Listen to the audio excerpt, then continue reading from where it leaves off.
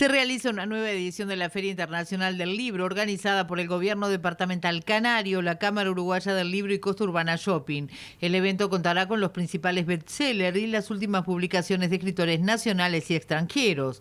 El evento se desarrollará de 10 a 22 horas con entrada libre y gratuita. Aparte de lo, clásico de una Feria del Libro, que es la parte comercial y exposición de libros para la venta, hay como varios espacios donde se motiva el encuentro de escritores y escritoras del departamento de Canelones, se motiva también a que los vecinos y vecinas vayan a espacios de conferencias con personajes vinculados a la cultura nacional internacional y a su vez van a haber espacios vinculados a ludoteca para que niños y niñas puedan pasar por varias experiencias de promoción de lectura.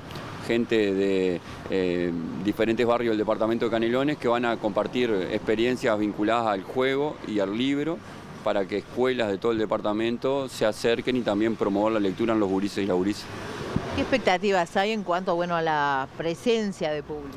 Bueno, el año pasado nosotros esta feria la hicimos en Landia. Tuvimos, fue la primera experiencia de Feria Internacional del Libro en el departamento de Canelones y tuvimos 6.000 personas que circularon por la feria. Este año la cambiamos al costo urbana porque una de las eh, críticas que tuvimos fue la accesibilidad vinculada al lugar donde lo habíamos hecho, entonces la hicimos en un lugar de paso, o sea que esperamos doblar la cantidad de gente que pase por la feria.